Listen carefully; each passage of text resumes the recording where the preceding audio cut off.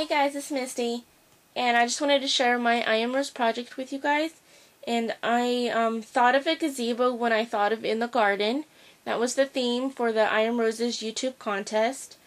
And I haven't seen anybody um, alter a gazebo or make a gazebo, so I decided to actually make one myself, and I completely made the whole thing from scratch. And um, other than the decorating, everything else is actually made out of this whiteboard and you can get this board at Joann's. It's 12 by 12 sheets. I probably used close to 10 sheets to make this. And it's um it's kind of like lightweight chipboard. So it's um really easy to um, bend and cut and maneuver. And so um, to make this, I did not have a template, so I just kind of went with um, whatever was in my head at the time when I was making it. And I really wanted it to be um, octagon I just thought it, it would look more um, elegant and so I made the I made the top first and then um, I painted it with uh, white acrylic paint, sage green acrylic paint, and then my folk art crackle medium. And then um, I just I made like everything, all this um, railing here. Um, it's about quarter inch, and I even made the little toppers. And then um, I made this lattice here and a little tip if you guys um, make lattice and for little sections like this I actually had to have three sections for the back so I actually made a full 12 by 12 lattice and I just cut um, quarter inch strips and then just kind of um, you know did one row and then went back and did the other row and and I used my Zig 2-Way glue. The hot glue um, became a little tedious and messy from all the strings so I ended up using my two-way glue and it was a lot faster. And um, so then I just made a little, I measured and made a little template of what size I would need. And then I just placed the template uh, on the lattice, um, the, this, um, like catty-cornered. And then I just cut it out so it was a lot easier than having to make three little specific ones and trying to be precise. Um, and then I covered this backside here with um, 6 inch flat lace and this is in white. And then I decorated the um, on the inner part right there.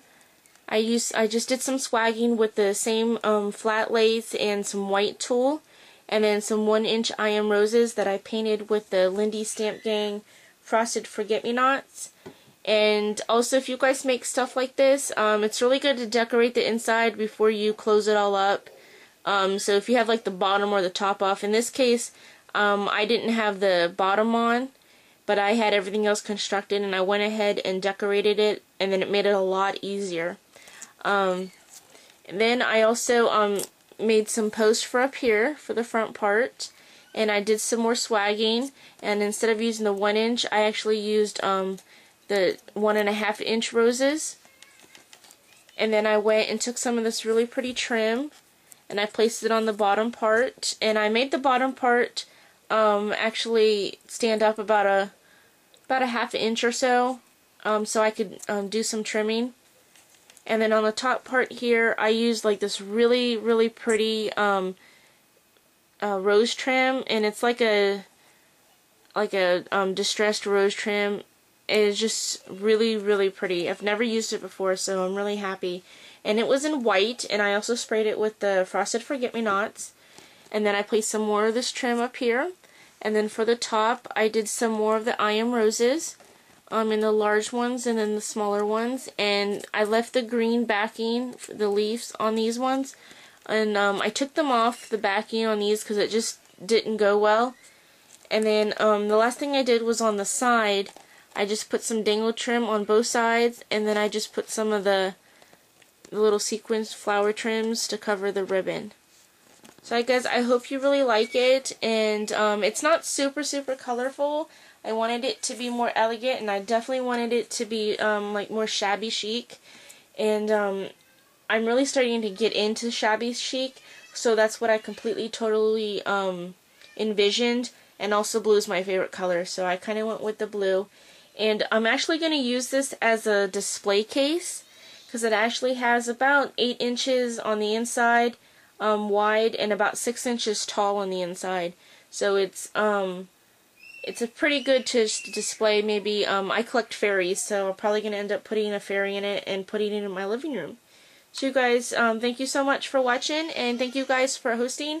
There will be a um, picture show at the end of this, um, so you can get some closer up looks. And you can also go to my blog. It'll also be on my blog. Thanks so much, guys. Happy scrapping. Bye.